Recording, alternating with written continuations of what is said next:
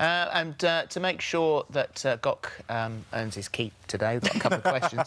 um, see how many, again, let's try and get two in here. How can I inject colour into my summer wardrobe, says SJ. OK, well, listen, I wear loads of dark colours. It's really known. But if you want to get some colour in, you've got to think colour in different stages. Number one, it's accessories. Number two, it's key pieces. Number three, it's block colouring. Number four, it's pattern. That's the most amount of colour. So what you've got to do is gradually introduce that colour into your wardrobe. So it might be a handbag, it might be a shoe, it might be a belt, and then build it up to then the oversized bag. It might be a hat, for instance. It might be a scarf around the neck. And so you build it up until you get to block colouring. And don't forget, it doesn't have to always be the bright tones. It can be shades of grey or shades of black or shades of brown. Uh, and that will also work, and that creates a tonal look until you finally get to pattern. OK, you've